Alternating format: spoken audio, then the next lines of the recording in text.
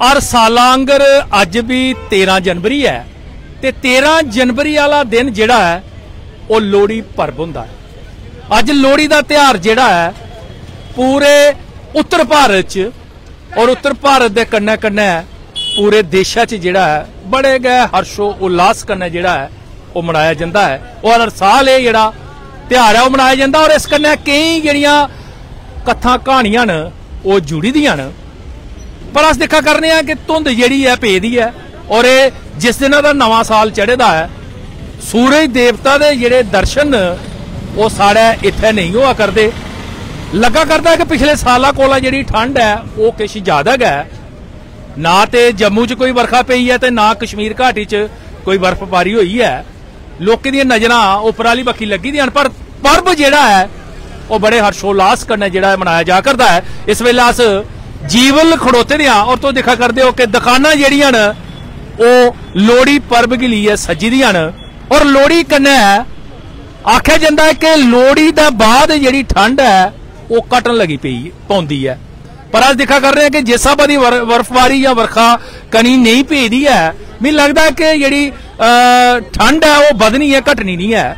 ਲੋਹੜੀ ਪਰਬ ਉੱਪਰ ਸੁੱਕੇ ਮੇਵੇ ਦਾ ਜਿਹੜਾ ਪ੍ਰਚਲਨ ਹੈ, ਉਹ ਬੜਾ ਮਤਾ ਹੁੰਦਾ ਹੈ। ਜਿਹਦੇ ਚ ਮੂੰਗਫਲੀ ਹੈ ਰਿਓੜੀਆਂ ਨੇ, ਚਿੜੂਏ ਨੇ, ਇਹ ਤੁਸੀਂ ਦੇਖਾ ਕਰਦੇ ਹੋ, ਖਜੂਰ ਹੈ ਔਰ ਜਿਹੀਆਂ ਜਿਹੀਆਂ ਸਮਾਜ ਵਿੱਚ ਜਿਹੜੀ ਆਧੁਨਿਕਤਾ ਉਹ ਆਈ ਹੈ ਜਿਹੀਆਂ ਜਿਹੀਆਂ ਸਾਧਨ ਵਸੀਲੇ ਜਿਹੜੇ ਲੋਕਾਂ ਕੋਲ ਵਧੇ ਨੇ, ਔਰ ਤਿਉਹਾਰ ਦਾ ਮਨਾਣੇ ਦੇ ਤਰੀਕਾਕਾਰ ਵੀ ਜਿਹੜਾ ਹੈ ਉਹ ਹੁਣ ਵਧੀ ਚੁੱਕੇ ਦਾ। ਪਹਿਲਾਂ ਤੇ ਮਹੀਨਾ ਪਹਿਲਾਂ ਗਿਆ ਲੋਹੜੀ ਦੀਆਂ ਜਿਹੜੀਆਂ ਤਿਆਰੀਆਂ ਉਹ ਸ਼ੁਰੂ ਹੋਈ ਜਾਂਦੀਆਂ ਹੀਆਂ ਸ਼ਹਿਰੇ, ਨਗਰੇ, ਕਸਬੇ, ਨਗਰ, ਨਗਰੋਟੇ, ਗ੍ਰਾਏ ਪਿੰਡੇ ਤੇ ਬੜੀ ਮਤੀ ਰੌਣਕ ਹੁੰਦੀ ਸੀ, ਪਰ ਸ਼ਹਿਰੇ, ਨਗਰੇ 'ਚ ਥੋੜੇ ਸਮੇਂ ਕੀਤਾ ਗਿਆ ਇਸ ਦਿਖਾ ਕਰਨੇ ਆ ਕਿ ਜਿਸ ਦਿਨ ਗਿਆ ਤਿਉਹਾਰ ਹੁੰਦਾ, ਉਸ ਦਿਨ ਗਿਆ ਹਰਸ਼ੋ ਉਲਾਸ ਜਾਂ ਉਤਸ਼ਾਹ ਜਿਹੜਾ ਹੈ, ਉਹ ਲੋਕਾਂ 'ਚ ਲੱਭਦਾ ਹੈ।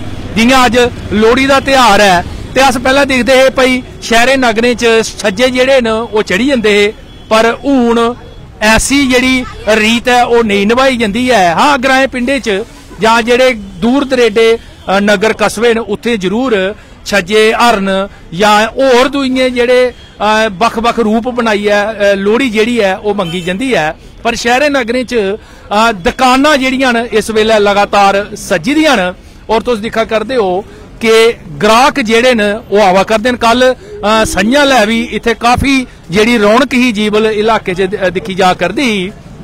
ਔਰ ਸੁੱਕੇ ਮੇਵੇ ਜਿਹੜੇ ਨੇ ਇਸ ਤੋਂ ਦੇ ਸਾਹਮਣੇ ਜਿਹੜੇ ਨੇ ਉਹ ਲੱਗੇ ਦੇ ਨੇ ਜਿੰਦੇ ਚ ਮੂੰਗਫਲੀ ਰਿਉੜੀਆਂ ਗੱਜਕ ਅਖਰੋਟ ਬਦਾਮ, ਅੰਬ, ਪਾਪੜ, ਹੁਣ ਹੋਰ ਕਈ ਜਿਹੜੀਆਂ ਵੈਰਾਈਟੀਆਂ ਨੇ, ਕੋਈ ਚੀਜ਼ਾਂ ਜਿਹੜੀਆਂ ਨੇ, ਉਹ ਵਧੀ ਚੁੱਕੀ ਦੀਆਂ ਨੇ, ਚਿੜੀਓ ਨੇ, ਇਹਦਾ ਖਾਸ ਮਹੱਤਵ ਹੈ। ਔਰ ਖਾਸ ਗੱਲ ਇਹ ਹੈ ਕਿ ਬੜੇ ਚਿਰਾਂ ਦਾ ਬਾਅਦ ਮੈਨੂੰ ਲੱਗਦਾ ਹੈ ਕਿ ਕਈ ਦਸ਼ਕਾਂ ਦੇ ਬਾਅਦ ਇਹ ਜਿਹੜੇ ਹਾਰ ਨੇ ਇਹ ਤੁੰਦੇ ਸਾਹਮਣੇ ਹੋਣਗੇ ਇਹ ਜਿਹੜੇ ਹਾਰ ਨੇ ਇਹ ਭੈਣਾਂ ਆਪਣੇ ਭਰਾਏ ਕੀ ਪਾਉਂਦੀਆਂ ਨੇ।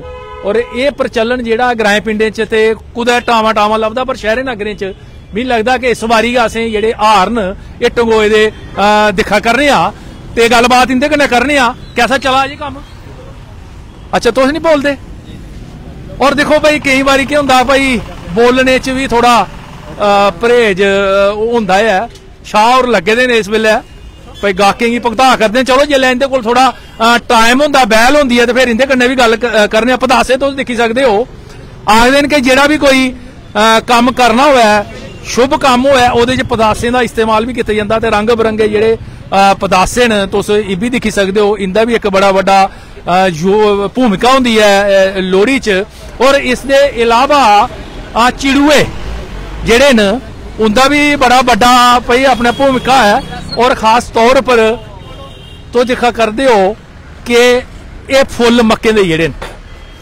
ਮੱਕੇ ਦੇ ਫੁੱਲ ਜਿਹੜੇ ਨੇ ਵੀ ਜਿਲੇ ਸੰਨ ਘਰੋਣੀ ਹੈ ਜਿਲੇ ਤਰਕਾਲਾਂ ਪਾਉਣੀਆਂ ਨੇ ਜਿਸ ਵੇਲੇ ਲੋੜੀ ਬਾਲਣੀ ਹੈ ਉਸ ਚ ਇਹਦਾ ਵੀ ਜਿਹੜਾ ਅਹ, ਅਰਗ ਹੈ ਉਹ ਦਿੱਤਾ ਜਾਂਦਾ ਹੈ ਪੁਰਾਣੀ ਪਰੰਪਰਾ ਦੇ ਅਨੁਸਾਰ। ਹੁਣ ਨਵੇਂ ਜ਼ਮਾਨੇ 'ਚ ਦਿੰਦੇ ਨੇ ਲੋਕ ਅਰਗ ਜਾਂ ਨਹੀਂ ਦਿੰਦੇ ਨੇ ਉਹਦਾ ਇੰਨਾ ਕੋਈ ਪਤਾ ਨਹੀਂ ਹੈ। ਲੇਕਿਨ ਫਿਰ ਵੀ ਅਹ, ਗ੍ਰਾਏ ਪਿੰਡੇ 'ਚ ਅਸੀਂ ਦੇਖਣੇ ਆ ਕਿ ਲੋੜੀ ਦੇ ਪਰਬ ਉੱਪਰ ਸੰਝਾ ਲੈ ਜਿਸ ਵੇਲੇ ਲੋੜੀ ਅਹ, ਬਾਲੀ ਜਾਂਦੀ ਹੈ ਉਸ ਵੇਲੇ ਅਹ, ਚੌਲ ਫੁੱਲ ਜਿਹੜੇ ਸੁੱਕੇ ਮੇਵੇ ਨੇ ਉਹ ਵਗੈਰਾ ਜਿਹੜੇ ਨੇ ਕਿੱਥੇ ਕਰੀਆ ਉਹਦਾ ਅਰਗ ਦਿੱਤਾ ਜਾਂਦਾ ਹੈ ਤੇ ਉਸ ਦੇ ਬਾਅਦ ਜਿਹੜੀ ਰਾਤੀ ਵਾਲੀ ਰੋਟੀ ਜਿਹੜੀ ਹੈ, ਉਹ ਖਾਈ ਜਾਂਦੀ ਹੈ। ਪਰ ਓਲੀ ਲੋਹੜੀ ਦਾ ਪਰਬ ਜਿਹੜਾ ਹੈ, ਜੰਮੂ ਸ਼ਹਿਰਾ 'ਚ ਵੀ ਬੜੇ ਹਰਸ਼ੋ ਉਲਾਸ ਕਰਨਾ ਜਿਹੜਾ ਹੈ, ਉਹ ਮਨਾਇਆ ਜਾ ਕਰਦਾ ਹੈ। ਤੇ ਗਾਹਕ ਤੁਸੀਂ ਦਿਖਾ ਕਰਦੇ ਹੋ ਕਿ ਸੁੱਕੇ ਮੇਵੇ ਜਿਹੜੇ ਨੇ, ਉਹ ਲਗਾਤਾਰ ਖਰੀਦਾ ਕਰਦੇ ਨੇ।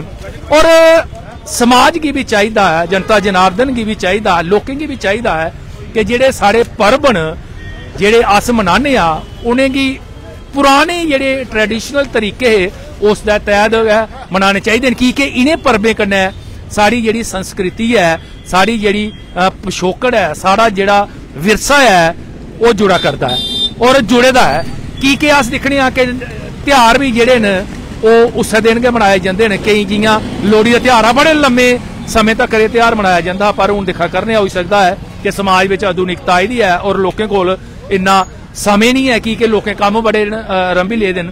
ਇਸ ਵਾਸਤੇ ਜਿਹੜੇ ਸਾਰੇ ਤਿਹਾਰ ਨੇ, ਪਵਿੱਤਰ ਤਿਹਾਰ ਨੇ ਇਨੇ ਕੀ ਹਰਸ਼ੋ ਉਲਾਸ ਕਰਨਾ ਹੈ, ਉਤਸ਼ਾਹ ਕਰਨਾ ਹੈ ਔਰ ਆਪਸੀ ਭਾਈਚਾਰੇ ਕਰਨਾ ਹੈ, ਲਗਾਤਾਰ ਮਨਾਣੇ ਚਾਹੀਦੇ।